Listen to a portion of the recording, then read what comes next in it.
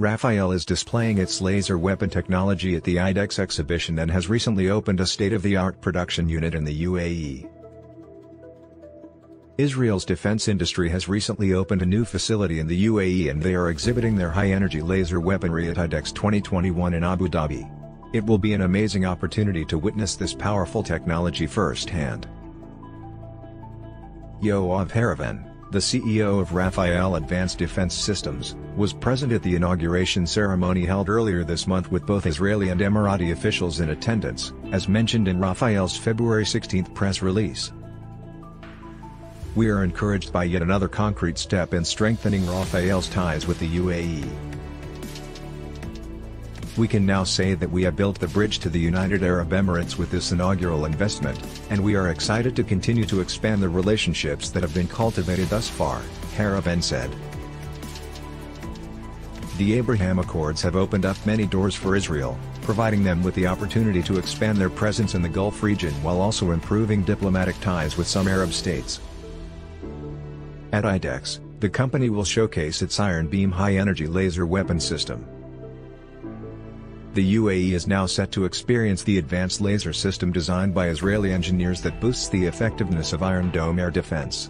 This will be the first time UAE gets exposure to this new technology.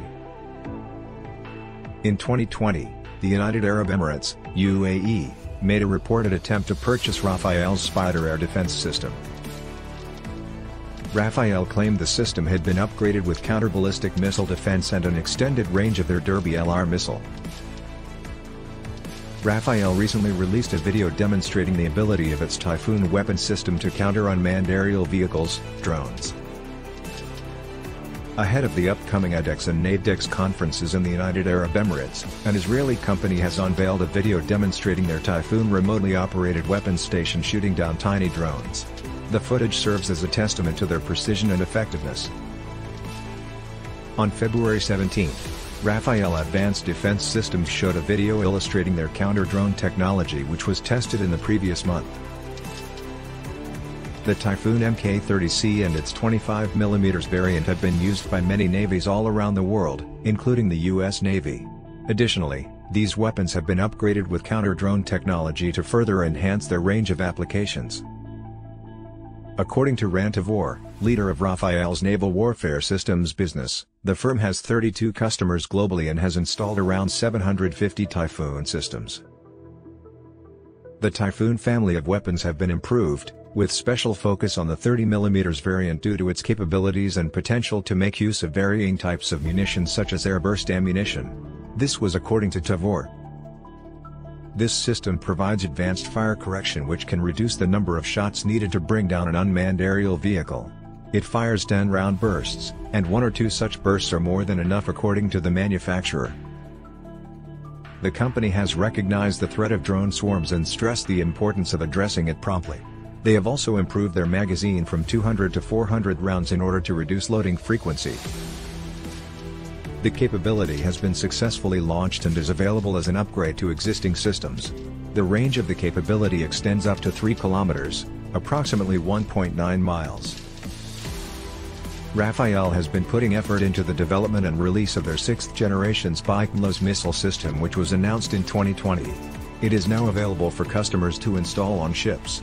With a standoff range of 32 kilometers, Tavor said the 6th gen version can simultaneously attack a single or different targets with four missiles and we can do a handover from a vessel to another operator, to take control of the target, and it also has the automatic target recognition within the seeker, a library of targets pre-inserted, and it looks automatically to find the right target.